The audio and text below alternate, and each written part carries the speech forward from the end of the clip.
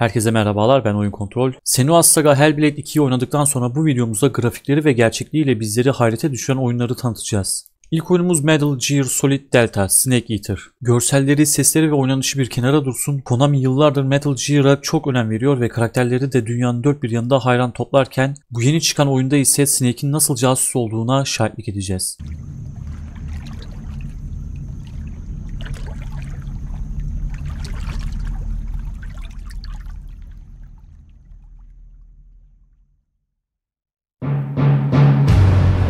Trailer beni çok etkilemese de Fox Engine oyun motorunu bırakıp Unreal Engine 5'e geçen Konami ışıklandırmayı, sesleri ve efektleri çok iyi kullanıp ortaya muhteşem bir oyun çıkarmış.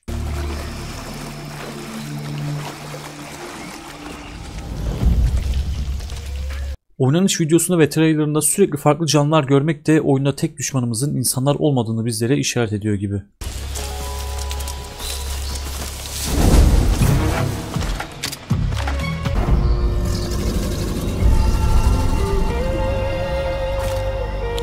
İkinci oyunumuz Kingdom Come Deliverance 2. Birinci oyundan çok farklı görünmese de grafik iyileştirmesi ve NPC zorluğu arttırılan oyunda Henry'i oynuyoruz. Ailesi öldürüldükten sonra intikam için diğer diğer gezen savaşçımız yani biz ayrıca bir de aşk hikayesi yaşıyoruz. Ama yapımcısı oyundaki ara sinematiklerin neredeyse 5 saati geçtiğini söylüyor. Yani hem film tadına bir oyun oynayacağız hem de gerçekçi grafikleriyle resmen hikayeyi evimizde yaşayacağız. Oyunda yaptığınız seçimler gidişatı etkileyeceği için oyunu bitirince silmek yerine hadi bir de şunu deneyeyim diyerek daha da aksiyon yaşayabilirsiniz. Zaten Saint Rose ve Dead Island'ın yayıncısından da işte böyle bir oyun beklenirdi. Amen.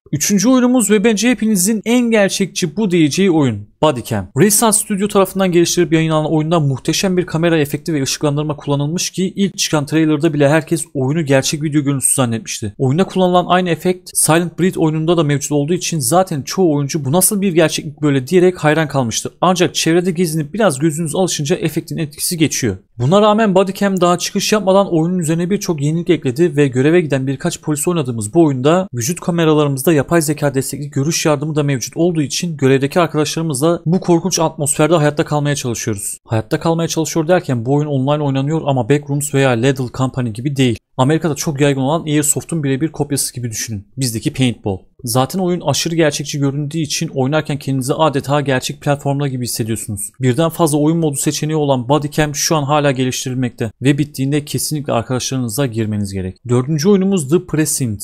Bu da ne? Grafikleri gerçek değil hatta görüntüsü bile eski diyebilirsiniz ama bunu bilerek aldım. You through your beat as the ACPD's newest recruit. Fallon 3 Games tarafından yapılan oyunumuzda bir polis oynuyoruz ve şehirde çözmemiz gereken cinayetler, durdurmamız gereken suçlar, ayrıca patlayıp yıkılan binalar var. Oyunu listeye eklememin sebebi ise ilk çıkan GTA oyunundan esinlenilerek geliştirilen ve bir polisin yapabildiği her şeyi yaptığınız oyunda tamamen özgürsünüz. Yakaladığınız suçluları arabanıza bindirip hapse atabilir veya kimsenin ruhu duymadan onları etkisiz hale getirip işinize geri dönebilirsiniz. offer. When you've caught your mark, you'll need to follow procedure to make sure you handle the İşte bu da bize gerçek hayattaki gibi deneyim sunuyor. Işıklandırması, sesleri ve efektleri gerçekten güzel yapılan oyun kesinlikle denenmeyi hak ediyor. sleep a little safer for your efforts until tomorrow. Ve 5. oyunumuz Judas. Oyun bana biraz çocukça gelmişti ama o da ne? Bioshock'un ismini duyunca hemen bir göz atayım dedim ve inanın bana Rapture evrenine tekrar girmiş gibi oldum.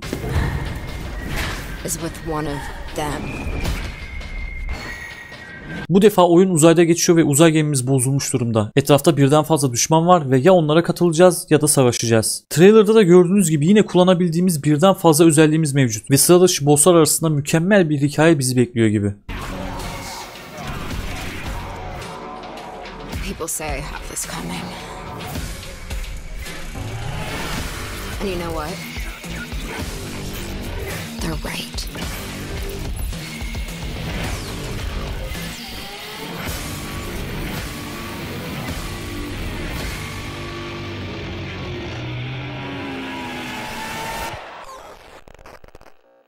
6 numara. Eğer Jurassic Park'ı ve King Kong'u seviyorsanız haydi bu oyuna toplanın. Karşınızda Ferocious.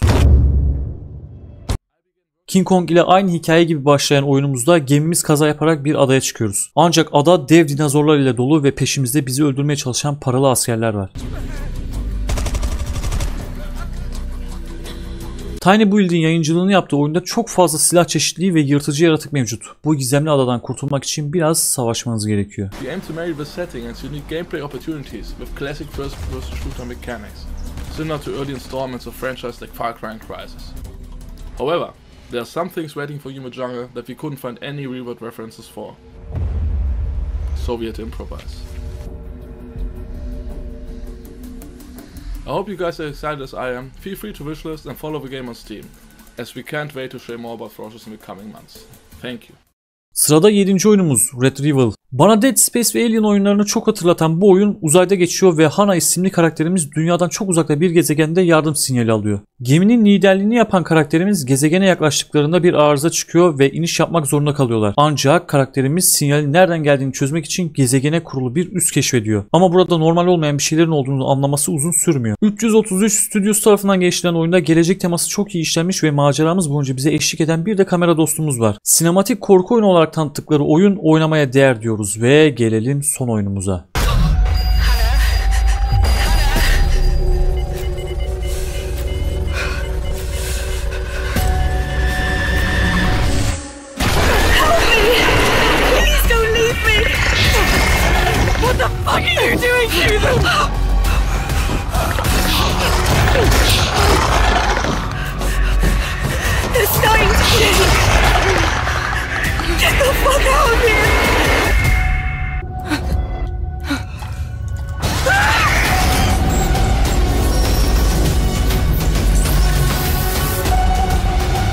Karşınızda Call of Duty 6. Kod serisi bizi hiçbir zaman üzmedi ve üzmeyecek gibi duruyor. Gerçek yalandır başlığı ile karşımıza çıkan bu yapımda ise çok enteresan bir şekilde oyun içi hiçbir görsel yok. Tamamen live action olarak yapılan trailerda ayrıca gerçek olayların da resimleri ve videoları mevcut olduğu için oyunun ne kadar ciddi olacağını ve oyun içi görsel yerine gerçek kişiler ile yapılan trailerdan da ne kadar gerçekçi bir oyun olacağını anlamışsınızdır diyerek bir serinin daha sonuna geldiğimizi hatırlatıyorum. trust, the world falls apart around you. If you weren't so distracted, you'd realize Nothing is what it seems. But if it's truth you seek,